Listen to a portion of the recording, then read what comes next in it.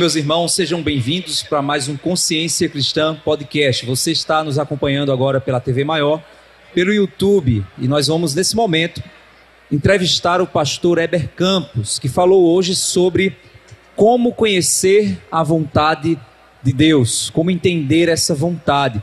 Você talvez já deve ter buscado tomar decisões na sua vida. Você talvez até não conheça o Senhor Jesus, ou até tem uma compreensão a respeito de Deus, mas por vezes para tomar decisões você tem é, recorrido talvez a, a meios espiritualistas ou determinadas práticas que não têm fornecido para você a devida direção, que tem sido muito mais é, é, uma fé espiritualista do que de fato algo racional que vai guiar sua vida com sabedoria.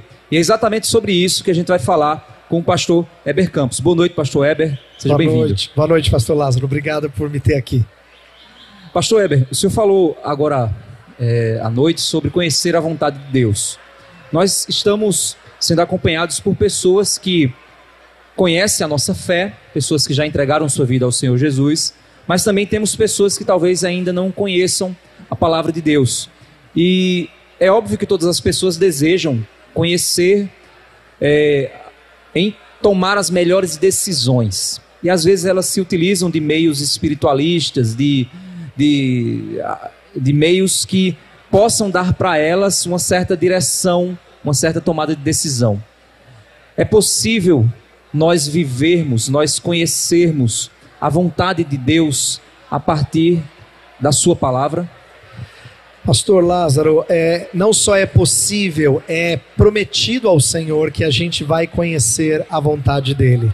Eu queria dizer para as pessoas que nos acompanham que deseja, desejam tomar boas decisões, mas que talvez achem isso difícil ou obscuro, que eles deve, devem entender que decisões não devem ser pensadas à parte do Senhor Deus. Então, para um cristão, escute isso porque isso é importante para a sua vida. Para um cristão, o mais importante não é acertar a decisão, é acertar o seu Senhor. Eu falei sobre ser guiado pelo Espírito. Ser guiado pelo Espírito não é só ser conduzido de maneira mística aí por caminho A ou caminho B. É estar debaixo do senhorio do Espírito. Então, se você tem decisões importantes na sua vida a tomar e você gostaria de escolher um bom caminho, Deus promete que aqueles que com Ele estão sempre escolherão bons caminhos. O que, que isso significa? Que eles se entregam em confiança ao Senhor, para que então sejam abençoados em cada caminho que eles tomam, escolhem a tomar. É, para quem nos assiste, e que quer de fato compreender essa vontade, tem uma decisão importante a tomar na sua vida. Quais direções práticas ela poderia tomar para que essa decisão fosse uma sábia decisão? Primeiro, nós estamos na consciência cristã, então eu gostaria que os nossos ouvintes entendessem que a primeira coisa é que você tem que se curvar diante do senhorio de Jesus Cristo. Ele é o nosso pastor. E como pastor, a Bíblia usa essa linguagem porque ovelhas são animais muito dependentes do seu pastor. Ah, nós não somos um outro tipo de rebanho, vamos dizer assim. Nós somos um rebanho de ovelhas, não é? Então isso significa que a gente não tem autonomia. Quando a gente tenta escolher caminhos à parte de Deus, a gente pode até achar que a gente se deu bem, mas em última análise a gente vai para caminho de perdição. Então, para aqueles que nos ouvem, a primeira coisa é você estar tá debaixo do pastoreio ah, de Jesus Cristo. Ele conduz as suas ovelhas por um bom e santo caminho. Então essa é a primeira, é o primeiro aspecto prático. O segundo é que Deus se mostra aos seus por meio da Bíblia Sagrada. A Bíblia Sagrada é o livro que ah, ele ah, nos deu para que nós o conhecêssemos, para que nós soubéssemos o que ele tem a nos falar, antes do que esperar falas diretas ao nosso coração ou à nossa mente, nós, ao fazermos isso, a gente estaria sujeito a enganos. Espíritos também podem nos enganar. A gente pode ouvir vozes que não provêm do Senhor, vamos dizer assim.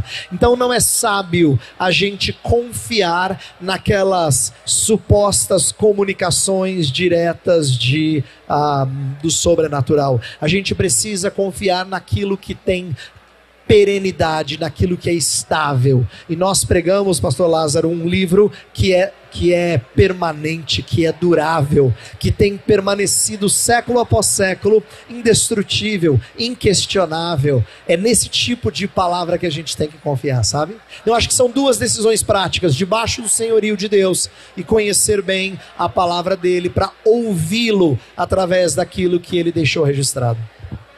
Então, diante disso, para quem nos assiste, é, a conclusão é de que ela precisa estar debaixo do, desse, dessa soberania do Senhor, né, desse do, do reinado de Cristo sobre a vida dela, e de que ela precisa ler as Escrituras. Mas até para ler as Escrituras e compreender as Escrituras, ela precisa de, de um auxílio espiritual, não é isso?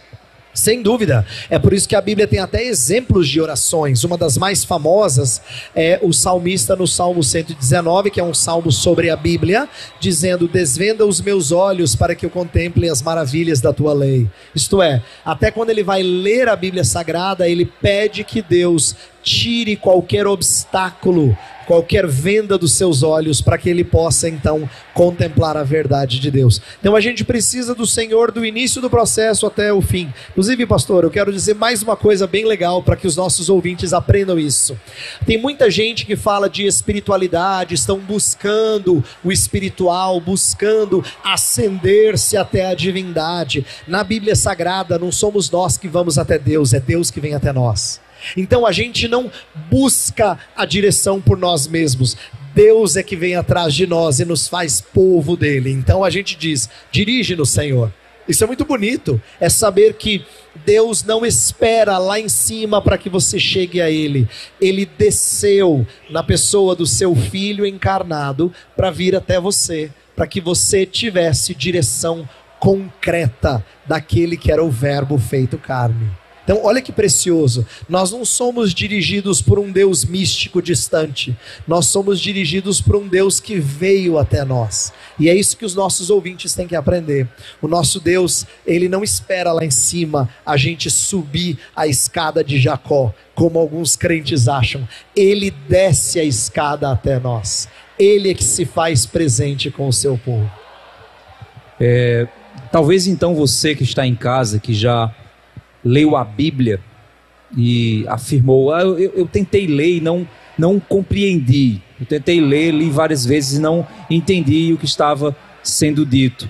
Talvez você precise ter os seus olhos espirituais abertos para essa verdade. E é exatamente diante disso que eu queria finalizar esse nosso bate-papo.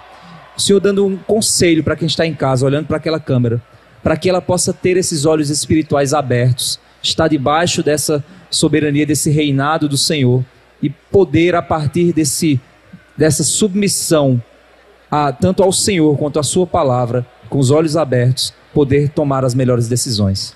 Você que está nos ouvindo e que está aflito por causa de alguma coisa grande que você tem que resolver, lembre-se: esse peso não pode estar só nos seus ombros. Você precisa aprender a, a ter ombros largos, onde você deposita o peso das suas aflições. E é isso que o Senhor Deus nos convida a fazer. Jesus Cristo diz para todo aquele que está cansado e sobrecarregado: Ele diz, Vinde a mim. Vinde a mim. Jesus está convidando você a procurá-lo para que ele seja conhecido. E ele sendo conhecido e amado por você, eu tenho certeza que você será guiado pelo Espírito dele, certeza. Então, decisões não devem ser uma coisa que você deve tomar por você mesmo, sozinho, sem amparo, sem auxílio de quem sabe todas as coisas e de quem pode todas as coisas. Eu quero que você vá hoje àquele que dirige o coração daqueles que são quebrantados. Mas minha última palavra é muito importante. É a seguinte: não vá procurando o Senhor só por causa dos benefícios que ele pode te dar. Procure o Senhor porque ele é totalmente amável. Procure o Senhor porque ele é totalmente admirável. se você com um coração sincero procurá-lo por quem ele é e pelas coisas que ele faz, certamente ele agradará os desejos ou satisfará os desejos do seu coração. Pastor Weber, obrigado pela sua participação. Deus abençoe sua vida e seu ministério. Amém, pastor. Muito obrigado pela entrevista.